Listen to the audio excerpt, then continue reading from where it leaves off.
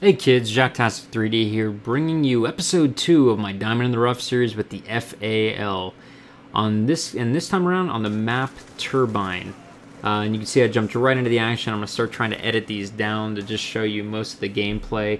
I go 22 and 4 in this, get two VSATs, uh, running nothing but support. Uh, with, as you saw earlier, uh, when I loaded, put the loadout in, no perks, no attachments, a rocket launcher, two EMPs, and two bouncing betties.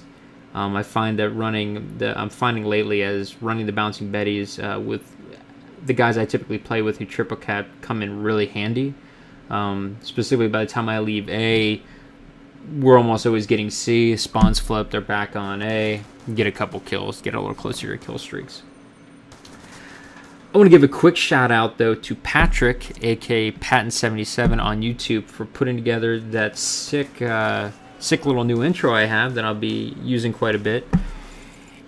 And I don't know, it's pretty pretty badass, and it's uh, it's awesome. Patrik, thank you so much for hooking me up with that. Um, hopefully, I can get you to do some a few more because they're just absolutely sick. And you're dead too.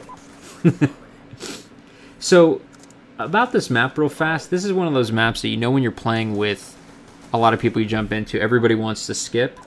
But it's also one of those maps that when you're going for your gold, it's a good map to play. Now check hold on, check this out real fast. All three. I'm gonna get you all. I'm gonna get you all. I'm gonna get nothing but assist because Hop just killed everybody. Good job, Hop. I'm not even sure what happened there. it's one of those maps that are great for long shots, which are one of the things when you're using an assault rifle that you end up having to get at some point. As a matter of fact, to me, it's the biggest bitch as far as getting the gold. Uh, everything else, even running this no person, no attachments, to me is significantly easier than having to get long shots because what you typically have to do is find points on the map where you can even score a long shot. And, I, and I've come to find there are spots almost every one of the maps that you can get at that you can score these long shots. But Turbine in particular happens to be one that it's a lot easier to get them if people obviously are in the right place. Uh, there are other maps personally I like better for that that people funnel into a little bit more and it's a little easier to get them than this map. Uh, but for the most part, though, this map offers a long line of sights. I just tend not to go for long shots till after I've done my no perks, no attachments, because I gate up, I put my target finder back on. That's right, I said it. Target finder, and for somebody like Justin, my noob, noob, noob, noob gun. Because for me personally, I use it as the same way I used Marksman in Modern Warfare 3. I don't sit in camp. And as you can see here, I mean, I'm running around with a FAL with no perks and no attachments, trying to use it somewhat like a uh, an assault rifle because that's just that's my game style, and that's how I've come to play this game. And I found it to be actually uh, pretty much a beast. I, I love the iron sights on it, and I can spam the trigger pretty fast, which is pretty key. And if you're spamming it fast enough, you can see I'm getting very, very little recoil in this gun and it's a two shot kill. Now you'll see though some people, depending on where I hit them, it seems like it takes more than that. But other, than, but for the most part, two shot kills, you're putting them down.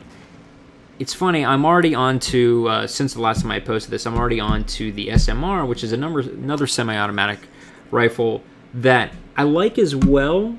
I don't know if I like it as much as this, but uh, I'm on the same point of no perks, no attachments. Um, and to me, they feel pretty similar. I'm sure somebody uh, a lot more educated than myself on these weapons could give you a rundown of the actual specs and say, well, that FAL's better than the SMR. To me, they feel just about the same now that I'm running them the same way with no perks and no attachments. I'll say the only downside, and this goes for any gun, and this goes for anybody listening to this, um, trying to up their games, up their KDs, up their score per minutes, is I'm completely dependent on the majority of my game on Ghost and Silencer. I hate being on the minimap. And you know, these guns just in particular, you'll see here in a second what I'm talking about. You know, they're so loud and anytime I'm I I pretty much when I'm not running Ghost, I think I'm on the mini map. And this gun in particular when I fire like you'll see here in a second, I'm going to move off to the right. I'm going to peg somebody. Now I show up on their map instantly. I'm bright red.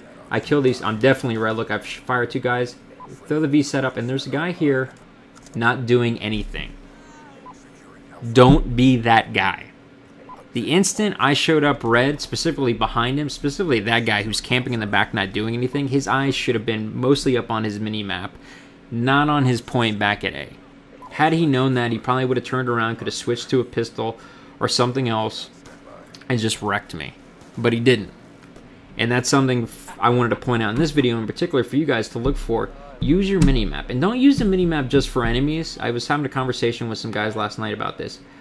I will use it for knowing where my team is, and I find that just as useful. And I don't need a UAV up to know where my team's at, as I do having UAV up or a VSAT up to see the enemy.